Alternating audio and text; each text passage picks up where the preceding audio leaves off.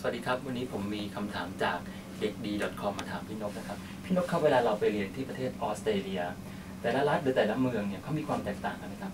อ่าจะแตกต่างกันนะคะออสเตรเลียเนี่ยเป็นประเทศที่ค่อนข้างใหญ่ แล้วก็มีเมืองอยู่หลากหลายมากมายหลายเมืองครับอ่านักเรียนไทยนิยมไปเรียนที่เมืองใหญ่ เช่นซิดนีย์หรือเมลเบิร์นเพราะว่าเขาคิดว่าการที่อยู่เมืองใหญ่เนี่ยเขาอาจจะได้งานทำครับ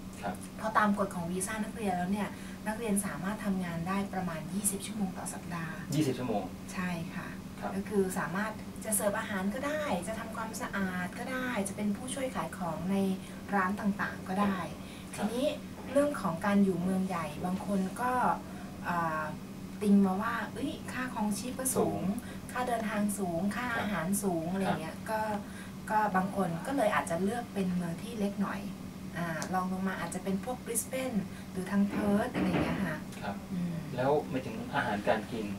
อาหารการกินถ้าเรายิ่งอยู่เมืองใหญ่ๆเนี่ยเราอาจจะซื้อได้แพงกว่าอยู่เมืองเล็กก็คืออาหารแพงกว่าๆเมืองเล็กอาอาหารจะแพงกว่า ค่าเดินทางจะแพงกว่าอะไรเงี้ยค่ะ แล้วความเงียบเหงาของเมืองก็แตกต่างกันไหมคถ้ารับเมืองใหญ่ก็จะมีสีสันหน่อย มีอะไรให้ทำเยอะ มันก็จะไม่ค่อยเงียบ แต่ถ้าเมืองเล็กๆ ก็เงียบเหมือนกัน แล้วการเปิดร้าน ในในออสเตรเลียเนี่ยฮะหมายถึงร้านค้านี่ดึกสุดนี่ประมาณกี่กี่โมงครับ แล้วแต่ที่ค่ะ แล้วบางที่ ที่ก็จะเปิดมืดมากเลยอะไรเงี้ย แต่โดยมากเขาก็จะปิดตอนหัวค่ำ เคยได้ยินมาว่าประมาณ5โมงนี่ก็เกลี้ยบางงแล้ว บางรัฐค่ะ ห้าโมงนี่เคยลืมซื้ออาหารนะคะฮะเอออุ้ยตายแล้วจะห้าโมงแล้ว ครับตอนนั้นอยู่เพิร์ธอะไรเงี้ยทำไมค่ะ ต้องวิ่งกลับไปให้ให้ทัน เพราะว่าไม่งั้นพอห้างปิดเราก็จะไม่มีอาหารเลย คือเราไม่ได้ซื้อตุนเอาไว้ว่าง่าย ๆ อาจจะเป็นความผิดเราที่เราควรจะตุนอาหารเอาไว้บ้าง แต่อันนี้เป็นจริงๆเป็นทุกรัฐได้ป่ะฮะไม่ค่ะ แล้วอย่างเวลานักเรียนที่อยากจะไปเรียนออสเตรเลียเนี่ยเริ่มต้นจริง ๆ ต้องทำอะไรบ้างครับอ่าถ้าเขาต้องการแค่ไปเรียนภาษาอังกฤษครับเขาอาจจะต้องเลือกเมืองให้ได้ก่อน เลือกเมืองอ่าว่าเขาจะไปเมืองไหน เพราะว่าในแต่ละเมืองเนี่ยก็จะมีสถาบันสอนภาษาเอกชน หรือว่าสถาบันสอนภาษาที่อยู่ในยูครับอืมแต่ว่าถ้าเกิดเขาจะไปเรียนตัวเป็นปริญญาครับเขาอาจจะต้องดูซิว่าเอ้ยเขาอยากจะเรียนหลักสูตรอะไรที่ไหนดัง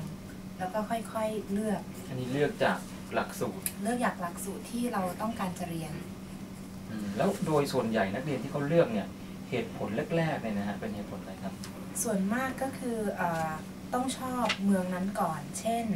ถ้าอยากจะอยู่เมืองใหญ่ นักเรียนโดยมากจะเลือกพวกซิดนีย์หรือเมลเบิร์นแล้วการเรียนภาษาในออสเตรเลียกับเมืองไทยแตกต่างกันไหมครับอาจจะมีความแตกต่างบ้างนิดหน่อย การเรียนภาษาในเมืองไทยเนี่ยนักเรียนโดยมากจะใช้ภาษาอังกฤษ เฉพาะในห้องเรียน พอออกนอกห้องเรียน ก็เลิกใช้เขาก็ใช้ภาษาไทยตามปกติ เพราะฉะนั้นคือการพัฒนาทักษะ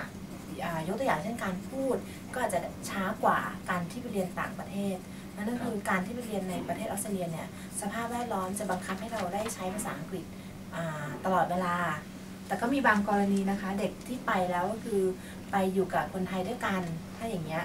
ก็เหมือนเราอยู่เมืองไทย ก็พูดภาษาไทยก็พูดภาษาไทยกันเพราะฉะนั้นการพัฒนาภาษาอังกฤษก็ไม่ได้ต่างกันมาก แล้วไปแรก ๆ ของพี่ลูกเองนะครับเวลาเราไปแรก ๆ เนี่ยปัญหาด้านภาษาอังกฤษนี่เลวร้ายขนาดไหนครับมีปัญหามากเลยค่ะ ก่อนไปจริง ๆ มีการเรียนไปก่อนบ้างแล้วนะคะ แต่ว่า